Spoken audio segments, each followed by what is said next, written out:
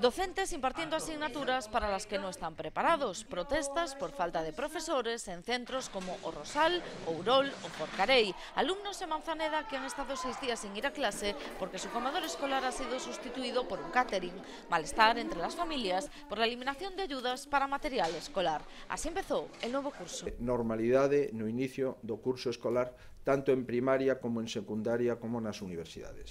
Normalidade que traslada tamén al rural Feijó atribuía al descenso demográfico el cierre de centros hasta 54 desde el 2008, según el informe de la Federación de Mujeres Rurais, lo que obliga a agrupar alumnos de distintos cursos en un mismo aula, como en este centro de Cervantes. Nos interesa que a escola rural siga tendo as mismas posibilidades e as mismas competencias que ten outras escolas máis accesibles.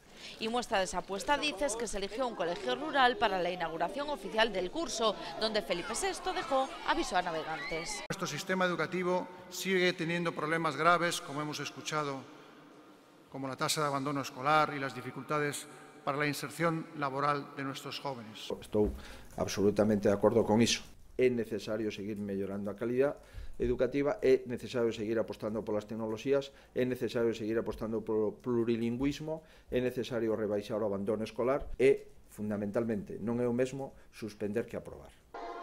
Mientras en las aulas planea la posibilidad de huelga en octubre y las protestas por los recortes.